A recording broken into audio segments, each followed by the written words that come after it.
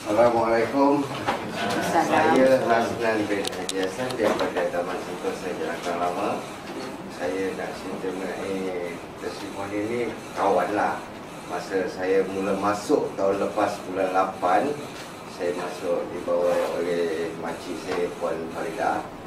Saya testimoni ni kawan saya dia sebenarnya dia macam ada gout tau. Dia gout. Gout tangan dia macam dah jadi robot tapi nak dijadikan orang cakap cerita hari makcik saya datang perkenalkan kopi CEO ni dan saya bagi dia minum.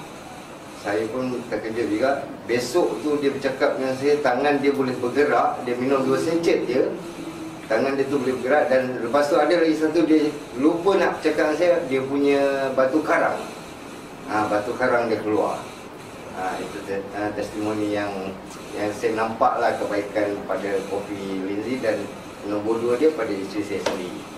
Sebab isteri saya dia ada kencing manis dan darah tinggi. Dia nak naik tangga pun memang saya jadi tongkat dia.